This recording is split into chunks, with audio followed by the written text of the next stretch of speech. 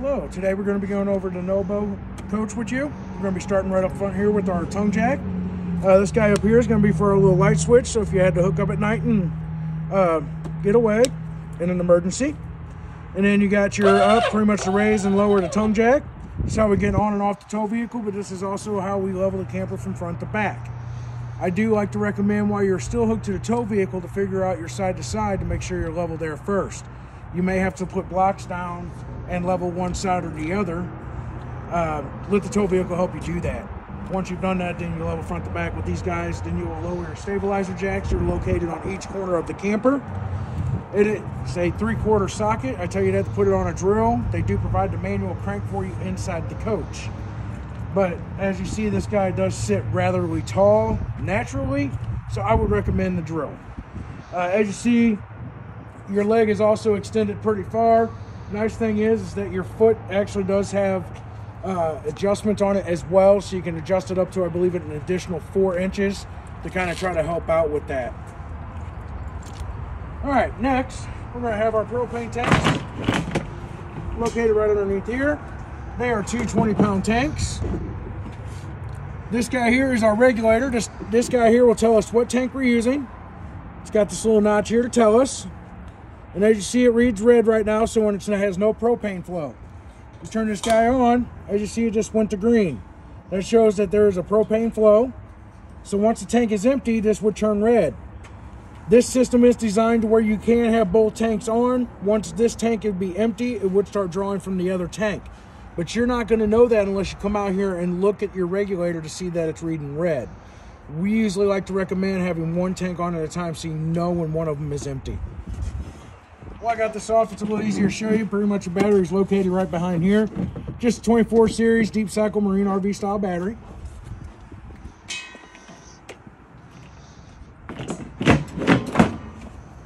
This guy right here is going to be our battery disconnect. So when you are storing the camper, you just turn this to the off position and basically it shuts the camper down so that nothing would potentially drain the battery. I didn't know if you caught this uh, when I was showing you this, but this guy here was just flashing. Uh, basically, it's showing that it isn't connecting right now. This guy is all tied in with the system as well. That's part of your tire monitoring system. All right, as we come around to the side here, we're going to have our manual cranks for our tongue jack and for the stabilizers. Like I said, as you see, there's quite a bit of clearance. Drill makes it a lot easier. This guy here is going to be your cap for the fresh water drain that's located down below. Right there. To fill that fresh water, it's going to be located right here. And it's just gravity fed, so you just stick the hose in and let it fill. Do recommend that you read the monitor panel inside so you know when it's filled to shut it off. You don't want to wait for water to start coming back out of here because over time it can cause damage both to the outside and the inside where it's connected. Down below that is going to be where the city water connection is. With this, it is recommended that you have a pressure regulator on the water spigot first. From there, your options of an inline water filter and then a blue or white water drinking hose. From there, you'll hook up to here, turn it on, you'll be ready to use the cold water side. You have to wait for the water heater to fill before you're able to use the hot side. And of course, you got to let it warm up. So with our slide room here, this is what they consider to be a Schwintek style slide. One important thing to note with these guys is to they are to never be lubricated. The reason why is because these guys work on two independent motors that talk to each other through a control panel. Uh, when you lubricate them, they start getting gummed up over time, and then the motors don't properly work, and then damage can occur. The simple fix for these when they start looking dirty or dingy is just soap and water.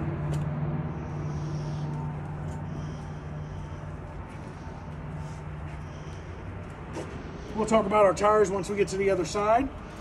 This guy here is going to be your black tank flush.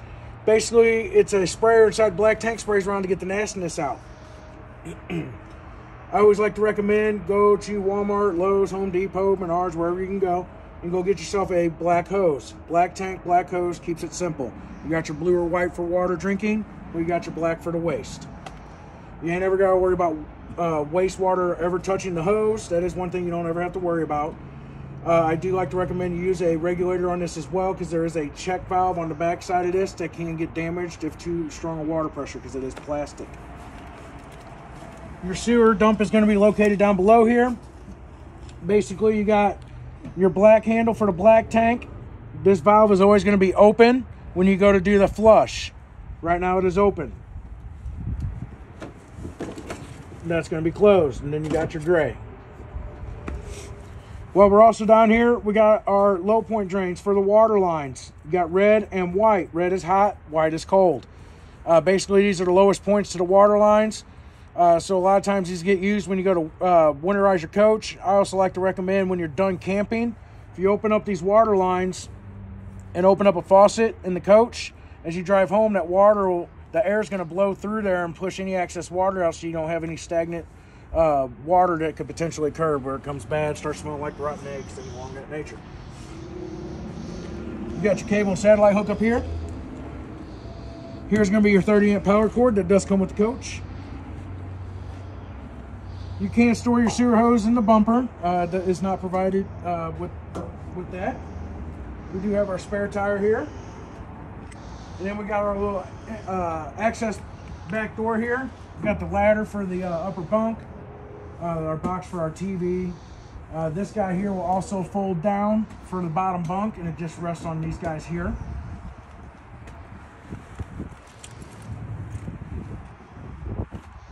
This guy does have its own set of purple keys. It's going to be this one here, which I will uh, get labeled for you guys. I'll pretty much color this in with one of my uh, colored uh, Sharpies and uh, write an R on it for the uh, rear door to make it a little simpler for you guys. We do have the ladder to the roof. Uh, I would recommend still getting a step stool or at least a six foot ladder to help you climb up here. it is quite a gap distance between the bumper and to that first ledge uh, you definitely get a workout trying to do that. Uh, it is also pre-wired for a uh, observational backup camera. Uh, basically, with your ladder, there is a weight limit on there for 250, uh, but you're just going up there to inspect the roof. No parties. You're checking the uh, lap ceiling on it. Is basically what you're doing. You've already got solar on the roof. they do provide another access point where it's a simple plug and play and basically it just sits out here on the ground for an additional solar option. Inside our compartment here, we're gonna have a couple of items. One's gonna be our uh, outside sprayer hose that's gonna connect right over here today. I'll show you guys that in just a second. We got our gas line that hooks up to our LP Quick Connect down below. This guy is in the off position now. When you want to get your uh, line hooked up to it, you turn that knob right there so it'll allow the propane to come through.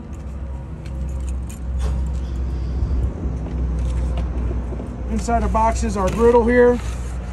And then on here is going to be the mount that would mount onto this rack. And then it has arms that come out that will secure into these little guys right here. And they do have R keys so you can lock it into place so it, would so it wouldn't potentially slide off. This key, uh, basically this lock here is going to be your silver key here. The Bauer key, that's going to be for your compartment door locks just like so. Okay, so there are tires here. Uh, you always do want to make sure that the lug nuts get torqued at 50, 100, and 200 miles. And our sticker here tells us that we are torquing those to 100 foot-pounds. It is recommended that you always do do that. Uh, I always like to say, a lot of times when you leave the campground, you're making quite a few turns. First place where you're stopping usually is the gas station to refuel. Well, while you're refueling, you can check the lug nuts. You're knocking out two birds with one stone. Also, you do want to try to keep the tires topped off to their max PSI level. Uh, you got the nice Goodyear Wranglers. These are actually good size, good tires. Uh, I believe these guys were, I believe these guys were 60 PSI. Oh, my correction, 50 PSI. As you see here, you got these caps here. Uh, these caps are telling us that they got the tire monitoring system in there. Uh, basically, it's just a sensor that's inside the tire. So if you ever do get the tires replaced, you do have to let them know that there are sensors in there so they don't potentially get damaged. This here is going to be that spray port I was telling you about for the outside sprayer. Pretty much it just twists and locks in. Then we got our port for the furnace. Uh, it's recommended you don't try to hang anything here. As you see, there's a caution for hot exhaust. Uh, but we do like to say get mud dauber screens to cover these, keep the mud daubers and wasp out of there. We do have an outside 110 outlet.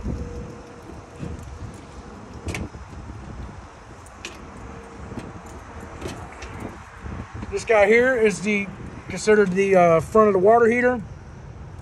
Basically, you got this guy here is going to be your anode rod. As you see, it's already a little beat up from the uh, from when during testing. Uh, basically, what it does is it attracts the impurities in the water, so it attacks the rod and not the tank, because the tank is a steel tank. So you do you always want to make sure you periodically check this.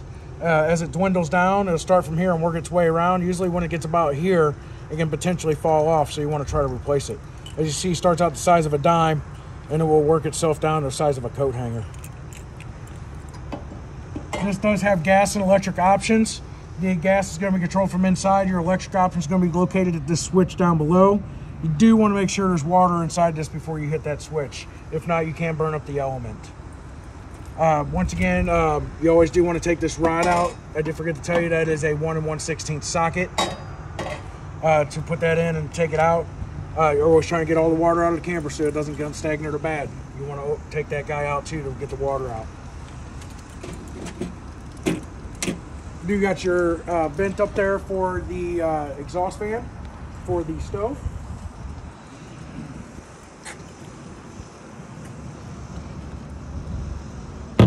then basically on this side here, you just got a little table here that will mount to that shelf where the barbecue grill would go as well. And this guy basically, you're going to go upward with it, set it on there, and then sits and folds down just like so. Uh, you're not trying to hang a bunch, you know, you're not trying to put a lot of weight on this. Uh, too much weight can cause damage to the rail, things along that nature. Uh, it's great for holding your beers while you're barbecuing. Maybe a package of hot dogs, things along that nature. You're just not trying to set like 50 pounds of meat on there. All right, so next we're going to talk about our steps here. With our steps, you do have to make sure that the door is fully open when you go to operate the steps. Okay? Uh, when these guys are folding up, the door is partially open. You can cause damage to the screen with this guy. This guy here, basically they sit on the back side when the door is shut. It keeps the steps secured so it doesn't rock around. These guys here so you can adjust your feet. Another thing to also note is when you go to bring this guy down, you do want to make sure this is fairly flush with the threshold as possible. As you see, we got a minor gap on that side, a little one on this side. Too high of an elevation can cause damage to both the steps and the entry door if you're not careful. So we are going to go ahead and adjust our, our step here a little bit.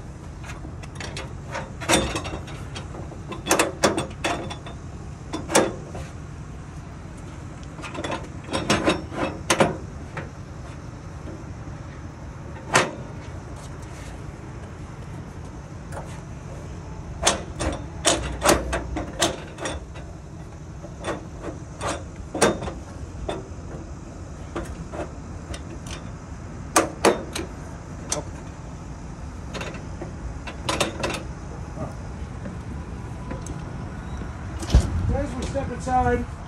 Right here at the entry door is going to be your fire extinguisher. Right over here is going to be our GFCI outlet. It's uh, then our control panel for our inverter. Uh, basically what the inverter does is it will convert the 12 volt to a 110 so you could use uh, some of the outlets in the coach be able to run a couple things along that nature uh, this light switch right here basically a little ambiance light for the closet area on each side of the um, Murphy style bed set set up here. You do also have 12 volt hook up there for charging your phone. Same thing on the other side as well. So for the Murphy style bed, first thing you're going to do is you're going to want to lift this and drop down. And this guy here pulls out. This will this here lays down. And then our bed. They do provide storage on each side of the bed as well. Uh, there is a uh, blind there that pulls down so you can block that front area. Each side does have its own individual reader lights as well.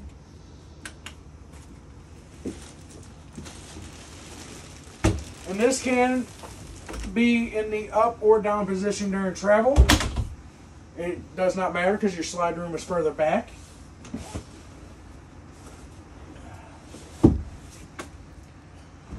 Next, we're going to have our fire exit window. If you cannot make your way to the entry door, basically with this guy here, flings open. This is on a hinge, so the whole window would fling open. They do rec- they would say that you need to pull the screen out to be able to get out. I look at if there's a fire, get your feet through that, get your feet out, feet first, just get out, okay? Throwing a hinge, you can easily get out. So behind this guy here is where you would go to basically winterize your coach. Your water pumps there is going to be a valve for that to bypass it. Uh, for our water heater is going to be located back underneath our sink area. There's going to be, uh, I believe that's two valve system on that. You return both of those valves. This is in the winterized position at this time. Uh, so you would have to um, change those valves over for water to get into the water heater. Uh, you do have storage underneath each bench seat area. The bench area here, table does break down into a bed as well. You would lift the seat, the tabletop up, pull these legs out. They lay on the floor, and the table will basically sit on these guys right here. And then you use your back cushions to fill in that space.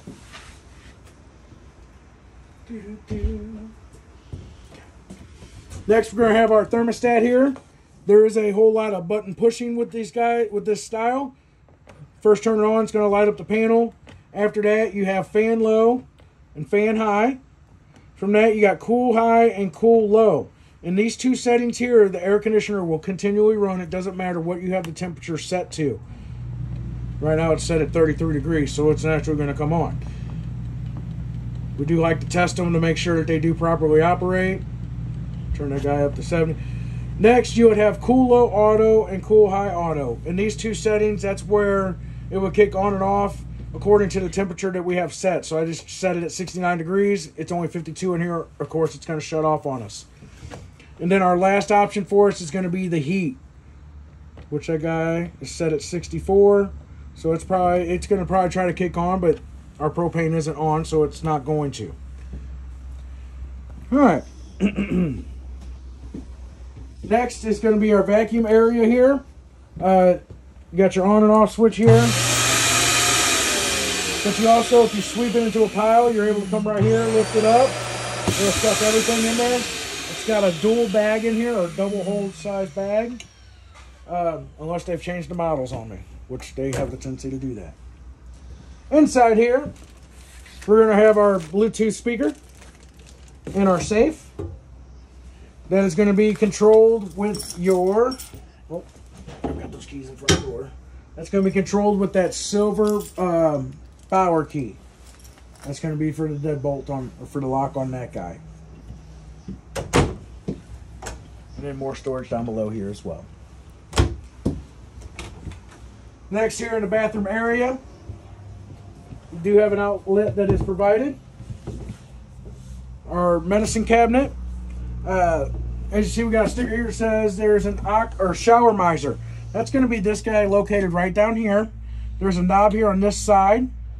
Uh, basically, when it's pointed downward, it, what this is going to do is send the water through this pipe back into the fresh water tank. Uh, it helps can try to conserve the water when you're boondock camping. Uh, basically, this will change colors once the water starts getting hot. It gets to a lighter shade of blue, and then you can just turn this knob to the shower head setting and then take your shower.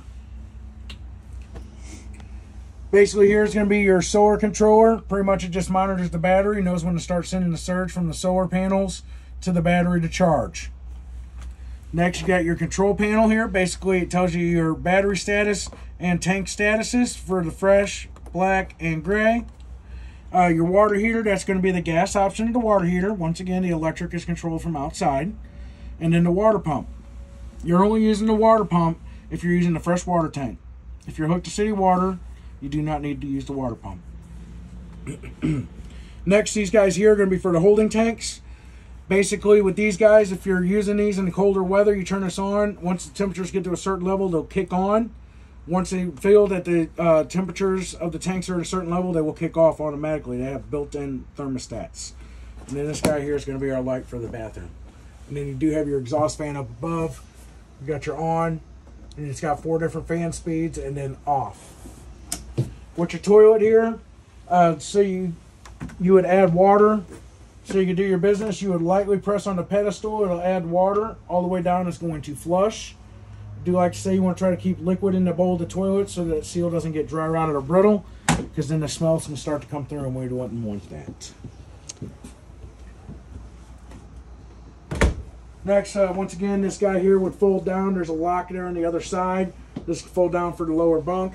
It does provide a USB hookup uh, so they can charge their phones. Uh, a light, same with the up top. Also, it has the USB. You got your mounts here for the ladder, so they'll be able to get up on the top bunk as well. And then we have our 12 volt style fridge. Uh, this is one thing that can drain the battery. Um, when this guy's trying to get a full cool down, uh, the solar panels will struggle to try to keep the battery charged while this is going. Uh, one thing you can kind of help with that is you can have these turned down. Um, this is going to be our power button. I'll show you that in just a minute. But basically, you got your temperature settings so you can change the temperature. Right now, it's set for the freezer. If we want to set the temperature for the fridge, we just change that. As you see, it's on three.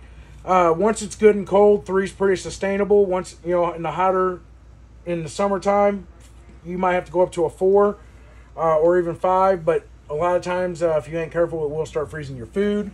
Uh, then you got this little moon, so it's like a, what it is is it's a, um, at nighttime, it isn't pulling as much power to keep items cool, so it's like a cool, it's like a, so it's not pulling as much power. Uh, I do always like to recommend though that you do turn this off uh, when you're not using the coach, because once again, it can drain those batteries unless you upgrade batteries. Um, Basically, though, you press and hold the power button for, I believe it's five to seven seconds, and it will shut it off. Down below that, we're going to have our control panel box. Anything that requires 110 or you got to be plugged into shore power is going to be on your breakers. And then everything that runs on fuses or runs off the batteries on fuses, and they do have everything right here labeled for what is what for you. Well, we're also down here is going to be where our LP and carbon monoxide detector is located. Uh, it's recommended you test these every 9 to 14 days. Uh, as you see, it's reading green right now. There's a button right here.